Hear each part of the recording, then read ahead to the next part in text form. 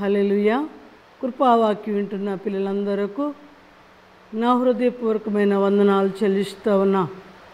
దేవునికి స్తోత్రం. చిన్న ప్రార్థన చేసుకుందాం. పరిశుద్ధుడా మహోన్నతుడా మహాగణుడా నీకు వందనాలు చెల్లిస్తున్నాను ఆయన జీవము గల తండ్రి మీ చేతులకు అప్పగిస్తున్నాను బిడ్డల్ని ఇదిగో తండ్రి కృపావాక్యం ఎంతమంది బిడ్డలు వింటున్నారో. అయా వాక్యము వారికి అయా ప్రయోజకరముగా చేయండి. వారి జీవితానికి అన్వయించుకునే కృప వారి వృద్ధిముల మీద ఉన్న ముసుగు తీసివేయండి. అర్థమయ్యే జ్ఞానము దయచేయండి.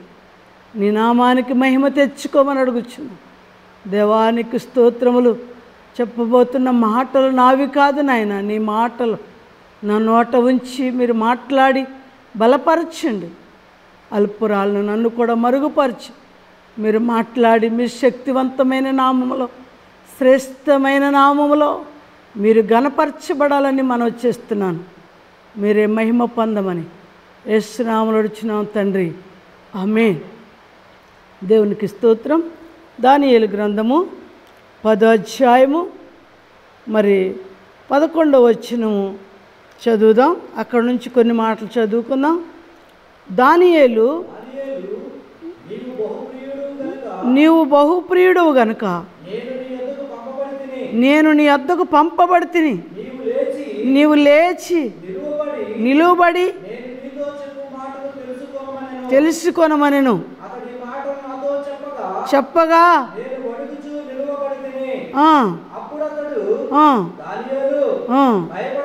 భయపడకము.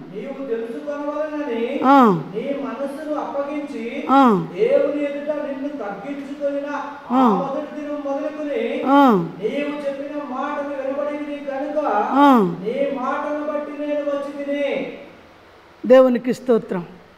ఇక్కడ దానియాలు ఏం చేశాడు అంటే మనం అందరం తెలుసుకోవాలి. ఉపవాసం ఉన్నాడు. ఈ ఉపవాస ప్రార్థన గురించి మనం వింటున్నాం ఇప్పుడు. దానియాలు అంటే చాలా భక్తి గలవాడని దేవునితో పోరాడగలవాడని ప్రార్థన వీరులలో ఒక ప్రార్థన పరుడని మనం బైబిల్ వాక్యం మనకు తెలియచేస్తూ ఉంది. అయితే మనం కూడా చాలాసార్లు ప్రార్థన చేస్తాం కదా జవాబులు లేని ప్రార్థన ఆత్మ సత్యములో నడుపుతుందో లేదో తెలియని ప్రార్థన నేను దేవుని మార్గంలో ఉన్నానా లేదా? బైబిల్ ప్రకారంగానే చేస్తున్నానా? అని గ్రహింపు లేని ప్రార్థన పిల్లలు ఎంతమంది ఉన్నారో వారందరూ కూడా ఈరోజు మనం తెలుసుకోవాలి. ఈ దానియేలు ద్వారా నేర్చుకుందాం. మనందరం అల్పులమే కానీ ఉపవాస ప్రార్థనకు దానియేలు చాలా గొప్ప అనుభవము నేర్పాడు. ఆయనకున్న అనుభవము బైబిల్లో చూస్తే చాలా దేవతలలో ఒకని వంటి వాడని పిలిపించుకున్నాడు. అంతటి మహనీయుడు లేడని అనిపించుకున్నాడు. మరి మన ప్రార్థన ఎవరికైనా పక్కవారికి ఇరుగువారికి పొరుగువారికి మరి దేవుని గూర్చిన వార్త మహిమ వార్త తెలియపరిచి ఆ ఆత్మలు రక్షించబడటానికి పోరాడగలిగిన ప్రార్థన వలె ఉందా అని మరి ఈ రోజున మనం ప్రశ్న వేసుకోవటం ఎంతైనా మంచిదని నేను అనుకుంటున్నా. మీకు కూడా అనిపించాలి కదా దానియేలు ప్రార్థన చేస్తూ ఉంటే దేవదూతలే దిగి వచ్చినాయట భూలోకానికి దిగివచ్చి ఆయనతో మాట్లాడుతున్నాయి దానియేలు నీవు బహుప్రియుడవు. గనుక నేను నీ యొద్దకు పంపబడితిని అని చెప్పాడు. మొదటి మాట ఏం చెప్పాడు దేవదూత? నీవు బహుప్రియుడు ప్రియుడు అనే మాటకి ఎవరికి అయినా ఏది ఇష్టమో అది ప్రియమైనది అంటారు. అలాగా దానియేలు దేవునికి ప్రియుడట. దేవునికి ఇష్టమైన వాడట దేవుడు ప్రేమించిన కుమారుడట. మరి దానియల్ని అంతగా ప్రేమించాడు కదా. మరి అంత ప్రేమించిన దేవుడు నా మనల్ని కూడా ప్రేమించడా? దానియలు కూడా మనిషే కదా. మానవ మాత్రుడే కదా. నిమిత్త మాత్రుడే కదా. ఆయనను ప్రేమించిన దేవుడు ఆయనతో మాట్లాడిన దేవుడు మనతో కూడా మాట్లాడతాడు ఈ రోజుల్లో. ఆ రోజుల్లో మాట్లాడిన దేవుడు ఈ రోజుల్లో కూడా అంతటను అందరూ దేవుని ఆత్మ దర్శించి పరిశుద్ధాత్ముడు మాట్లాడతాడని వాక్యంలో సెలవిస్తూ ఉంది. ఆ రోజుల్లో ప్రవక్తల ద్వారా మాట్లాడాడు. కానీ ఈ రోజుల్లో ఎవరు ప్రార్థన పరులుగా ఉన్నారో ఎవరు ప్రార్థన లేకుండా పడుకున్నారో వారందరిని కదిలించే ఆత్మ. ఎవరైనా ఒకవేళ ప్రార్థన చేయొచ్చులే అనుకుంటే వారితో కూడా మాట్లాడే ఆత్మ. గుడికి వెళ్ళొచ్చులే అని నిర్భయముగా ఉంటే వారితో కూడా మాట్లాడే ఆత్మ మన ప్రభు దగ్గర అంత శక్తి సామర్థ్యం ఉందని అర్థం చేస్తూ ఉంది. ఎంతమంది ప్రార్థన చేసినా సోలిపోయి అలసిపోయి ఇక దేవుడు మాకేం కార్యం చేయలేదు. దేవుడు మాకు ఏ మేలు చేయలేదు అని నిరాశతో నిస్సహాయితో ఉన్నారో అట్టి పిల్లలందరితో దేవుడు మాట్లాడటానికి సిద్ధముగా ఉన్నాడు. దానియులతో మాట్లాడుతున్నాడు. అలాగే దావీతుతో మాట్లాడాడు. అలాగే పేతురు గారితో మాట్లాడాడు. మిద్ది మీద ఉన్నాడట పేతురు గారు. అక్కడికి తర్వాత వెళ్దాం.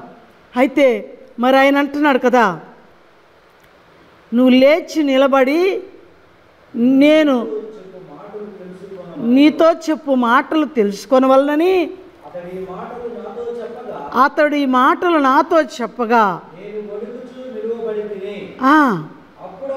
అప్పుడు అతడు దానియేలు భయపడకము. భయపడకము నీవు తెలుసుకొనవలనని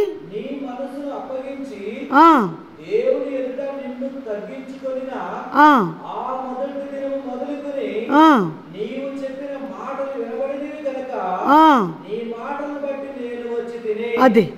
ఆయన అంటున్నాడు కదా ఆయన ఇరవై ఒక్క రోజు ఉన్నాడు మీకు తెలియటానికి నేను ముందుగా చెప్తున్నా అది అంత చదవలేదు కాబట్టి. ఇరవై ఒక్క రోజు ఉపవాస ప్రార్థనలో ఉంటే దేవుని జవాబు ఆలస్యమైపోయింది.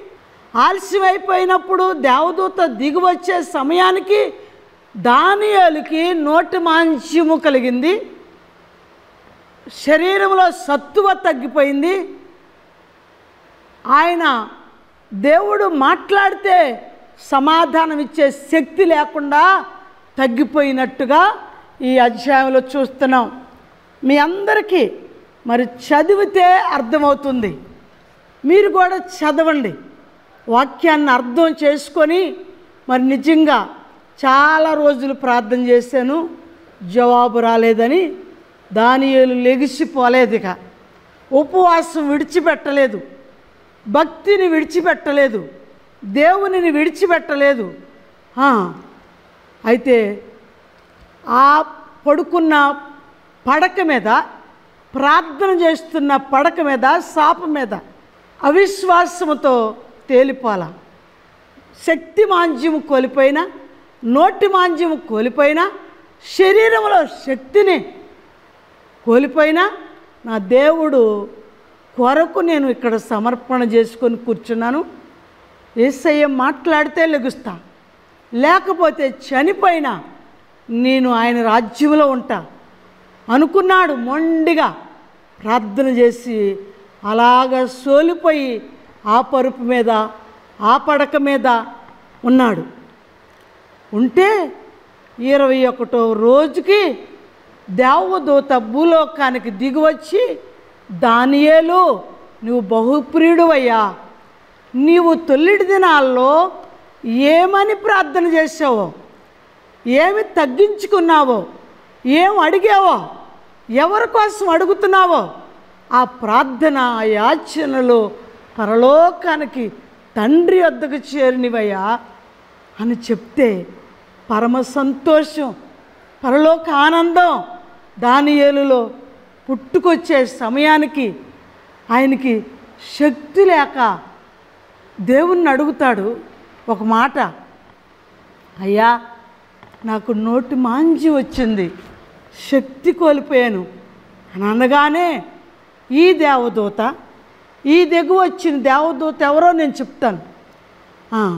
ఈ దిగు వచ్చిన దేవదూత నోరును ముట్టగా ఆయనకు మాట శక్తివంతముగా మాట్లాడగలిగాను. అంటే ప్రార్థనలో ఎంత శక్తి సంపాదించుకున్నాడో చూద్దాం. మనకు కూడా శక్తి కోల్పోవచ్చు ఒక్కొక్కసారి. ఉపవాసంలో ఉన్నప్పుడు చేయలేకపోయినంత పరిస్థితి రావచ్చు ఒక్కొక్కసారి.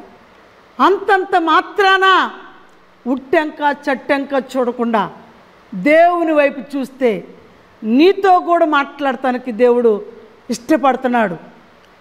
చాలాసార్లు ఉట్టెంకో ఎక్కడో అన్నం కుండ ఉందో ఎక్కడ తినే ఆహారం ఉందో పళ్ళు పదార్థాలు ఉన్నాయో వాటెంక చూస్తుంది మన మనసు. వాటి వైపు చూసి దేవుని మీద ఆత్మీయ శక్తిని కోల్పోతాం. వాటెంక చూడకుండా నువ్వు ఆ రోజున అనుకున్న రోజున ఏమని తీర్మానం చేసావో ఎలా మాటిచ్చావో ఏమని మాటకి ఒప్పందమయ్యావో ఆ మాటకి నువ్వు సమర్పణ కలిగి ఉండాలంతే. ఆ మాటతోనే నిబంధన కలిగి ఉండాలి.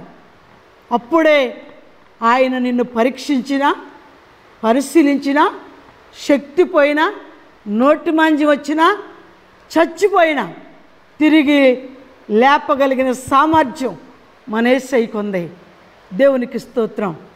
అందుకని ఆయనను గూర్చి మరి ముందుకు వెళ్దాం ఇంకా. నువ్వు ఆ మొదటి దినము మొదలుకొని నీవు చెప్పిన మాటలు వినబడినవి. గనుక నీ మాటలను బట్టి నేను వచ్చి తిని అని చెప్పింది దేవదూత. అక్కడేం చెప్తుందో అక్కడేం జరిగిందో మనందరం సార్లాగా విని శ్రద్ధగా విని హృదయంలో నాటుకోవాలి. ఆయనకేం జరిగిందో. అందుకనే ఆయన అంటున్నాడు కదా అప్పుడు చెబుతున్నాడు అయ్యా నువ్వు మొదటి నుండి ఏమని ప్రార్థన చేసావు? ఏమని మొరపెట్టావో? ఏమని అడిగావో? అవన్నీ వినబడినవి తండ్రి వద్దకు వచ్చినవి.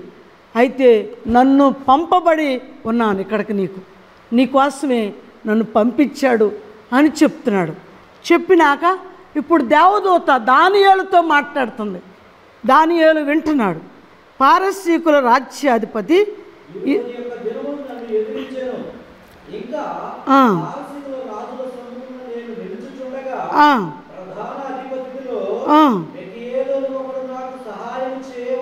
ఆ, అనేక దినముల వరకు జరగదు. ఆ, అయితే ఆ, దినముల అంతమందు నీ జనములకు సంభవింపబోవు ఆ. ఈ సంగతిని నీకు తెలియజేయవచ్చునని ఆ. అతడు నాతో చెప్పెను. అదిగో దేవునికి స్తోత్రం.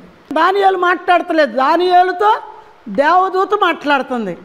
దేవదూత అంటుంది కదా అయ్యా నువ్వు ప్రార్థన చేసిన సమయానికి ఖచ్చితంగా నేను పంపబడ్డాను. అయితే మధ్యలో పారసీకుల రాజ్యాధిపతి ఒకడు నాకు ఎదురుపడెను. వాడు ఎదురొచ్చి నన్ను నీ దగ్గరికి రాకుండా బంధించాడు ఆపాడు. రానివ్వలేదు.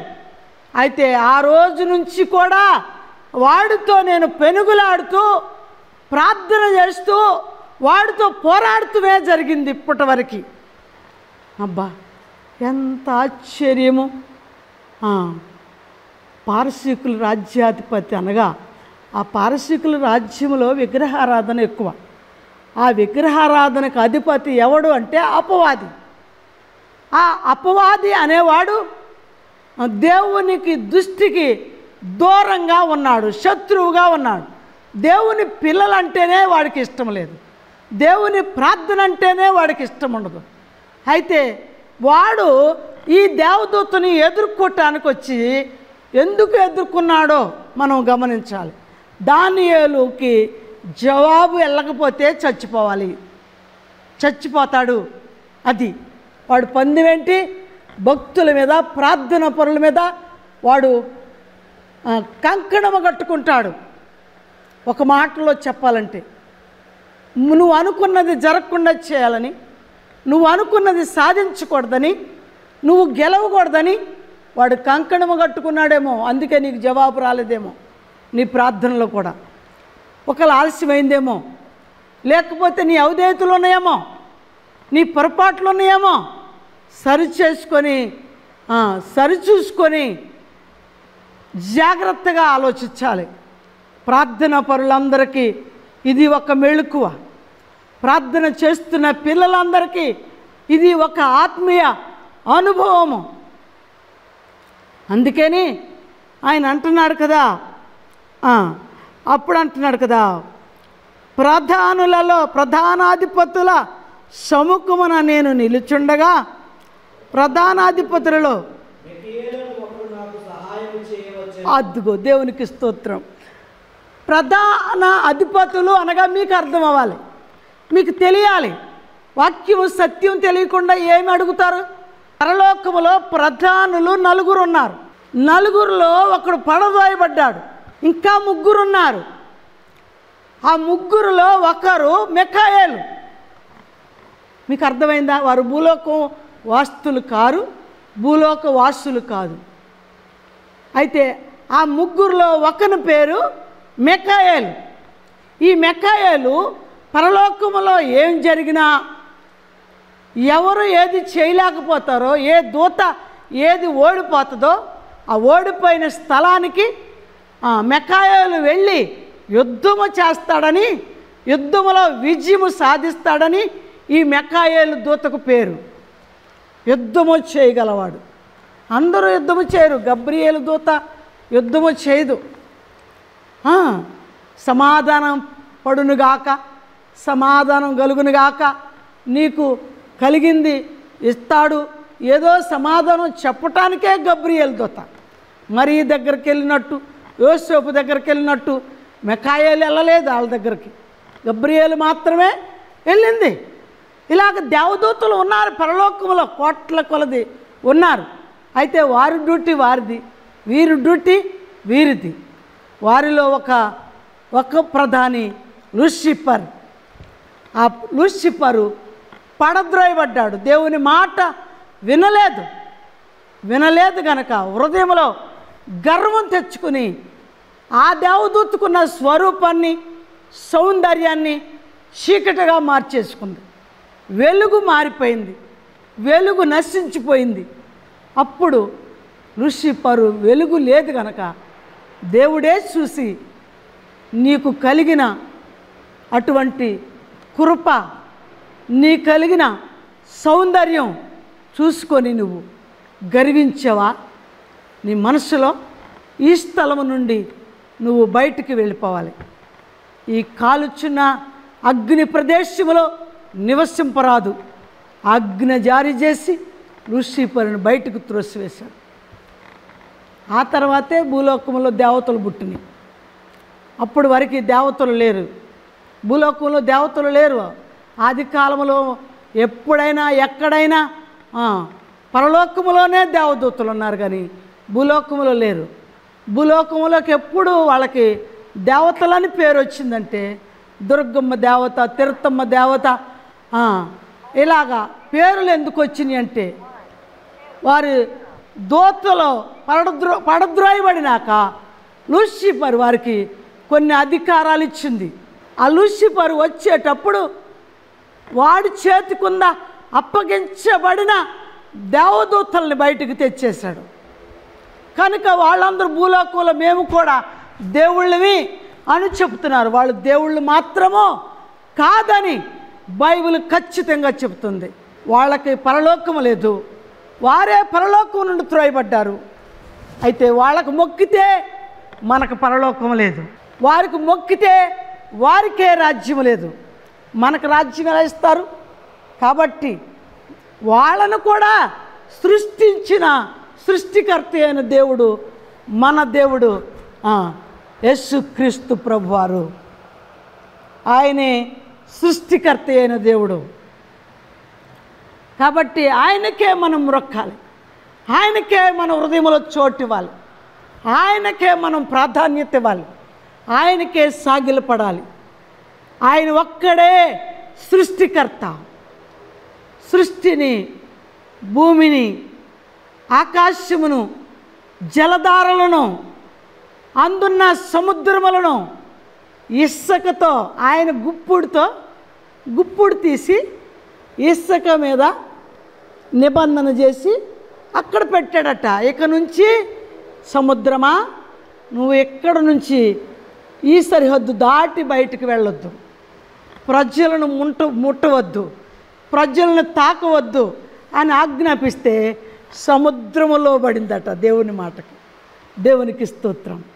మరి మనం కూడా చాలాసార్లు ప్రార్థనలు చేసి ప్రార్థనలో తేలిపోయి భక్తిలో తేలిపోయి వరుసలో కోల్పోయి దేవుని చిత్తానికి దూరం అయిపోయి ఆయన మాటకు లోబడతలేదు. ఆయనకు చోటు ఇవ్వట్లేదు.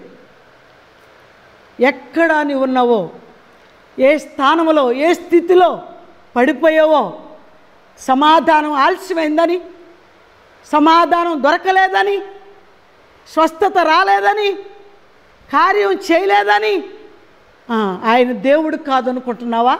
నీ లోపము నీ అవధేయత నీ పాపము అడ్డుగా ఉందేమో. ఒకవేళ దేవుడు రావటానికి పారసికపు రాజ్యపు అధిపతి దేవదూత అడ్డొచ్చిందట. మీకు అర్థమైందా ఇప్పుడు? ప్రధాన అధిపతులలో ఒకడు ఎదురొచ్చాడు.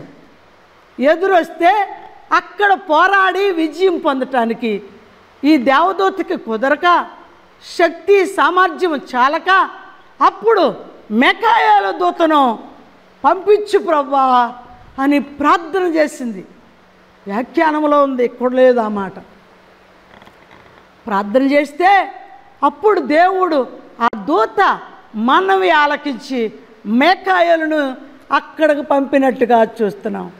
ఈ మేకాయలకి ఈ పారసికపు రాజ్యాధిపతికి వారి అప్పగిచ్చేసి ఈ దేవదూత దానియల్ దగ్గరకు వచ్చినట్టుగా చూస్తున్నాం.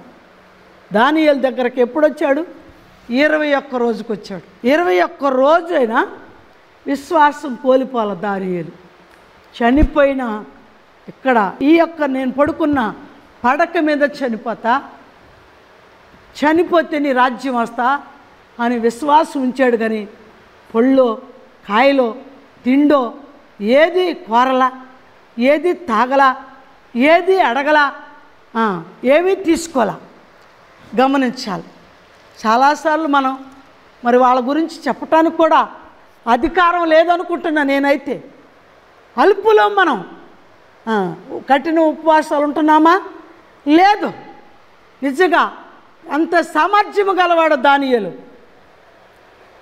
దేవత దేవదూతకి ఒక ఒక ప్రధాన అధిపతి అయిన అపవాది ఎదురెళ్ళి ఆపేశాడట. దానియలకు సమాధానం రాకుండా.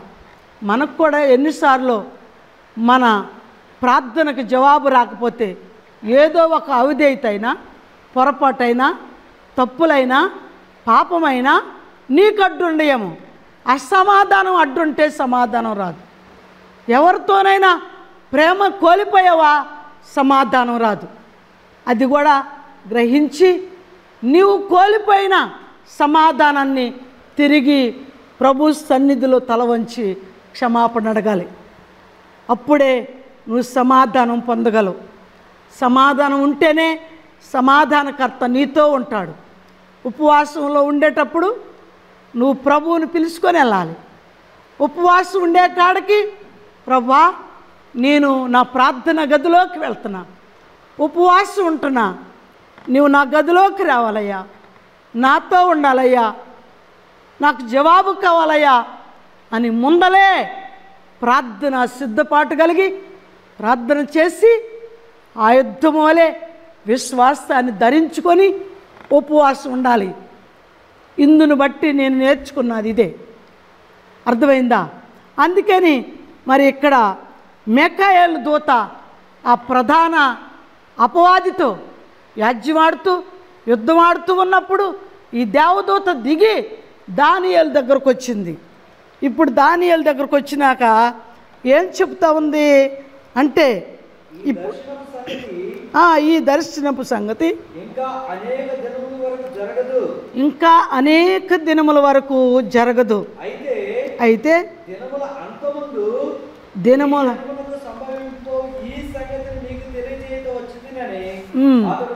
చెప్పాను. ఆ, అతడి మాట నాతో చెప్పగా నేను నా ముఖము నేలకు వంచుకుని మౌనినై తిని. అప్పుడు నరస్వరూపి ఒకడు నా పెదవులను ముట్టగా నేను నోరు తెరిచి నా ఎదుట నిలుచున్న వారితో ఎట్లాంటిని? నా ఎరిన వాడా ఈ దర్శనమును నాకు వేదన కలిగినందున. నా బలము తొలగిపోయేను. దేవునికి స్తోత్రం. హల్లెలూయా. ఆయన అంటున్నాడు కదా అప్పుడు మాట్లాడుతున్నాడు. ఎప్పుడు?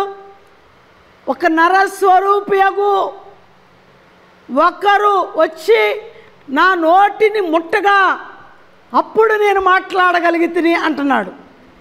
మీకు అర్థం అవ్వాలి ఇక్కడ.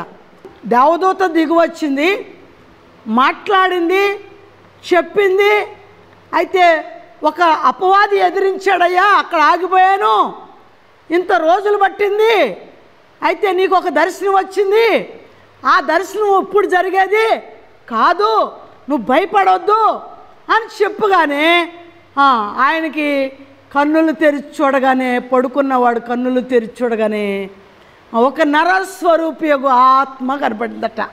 దేవునికి స్తోత్రం. దిగువచ్చిన దేవదూత వేరు. నరస్వరూపి యొక్క ఆత్మ ఎవరు అంటే ఆ ఈయనే యేసుక్రీస్తు. రాబోతున్న కాలములో ఉన్న యేసుక్రీస్తు తండ్రి దగ్గర ఉన్నాడు. ఆయన వచ్చి దానియలు స్వరమును పెదవులను ముట్టగా ఆ నోరు సడలింప చేశాను మాటగాడగలిగాను అప్పుడు ఈ దర్శనము వలన అయ్యా నాకు దుఃఖము వేదన కలిగింది. అందుకేనే నాలో బలము తొలగిపోయింది అని చెప్తున్నాడు. ఆయనకు ఒక దర్శనం ఉపవాసంలో వచ్చింది ఆల్రెడీ. అయితే ఆ దర్శనము ఏ కీడో ఏ నష్టమో కనపడింది ఆయనకి. కనపడితే ఆ నష్టం ఇప్పుడే జరిగిపోద్దేమో ఆ కీడు ఇప్పుడే ప్రజల మీదకి వస్తుందేమో అని వేదనగా దుఃఖముగా ఉన్నాడంట. ఆ మాట చెప్తున్నాడు. అయితే ఆ- ఆ వేదన దుఃఖాన్ని బట్టి నాలో బలము తొలగిపోయాను అంటున్నాడు. అంటే ఎంత వేదన ఉందో నేను ఇక్కడ ఒక్క నిమిషం మీకు ఆపు చేసి చెప్తున్నా. ఒక మనిషే ఆయన కూడా. ఆత్మల భారము మనుషుల భారము సంఘముల భారము ఈ రోజుల్లో ఎంతమందికి ఉంది? ఎస్ఐ అడుగుతున్నాడు మిమ్మల్ని. ఆత్మల భారము లేకుండా సేవ చేసే వాళ్ళు ఉన్నారు. ఆత్మల భారము లేని విశ్వాసులు ఉన్నారు. నేను చెప్తున్నా ఎవరైనా మీ దీపం వెలిగించుకుంటే రక్షణ పొందితే మారు మనసు పొందిన వ్యక్తికి ఒక భారం ఉండాలి. నీ దీపం వెలిగించబడిందా అని నీకు రుజువు ఉంటే మరి కొన్ని దీపాలు నీ దీపము ద్వారా అనేక దీపాలని వెలిగించాలి. ఏమంటారు? వాక్యం సెలవిస్తుంది. ఒక మగిని పొత్తు కనుక వెలిగిస్తే ఆ తర్వాత వంద మగినిపొత్తులైనా వెలిగించగలం. అలాగే నీ దీపం దేవుడు వెలిగిస్తే నీ నోట వచ్చి మాట భాష తీరు మరొకరిని వెలిగించబోతుంది.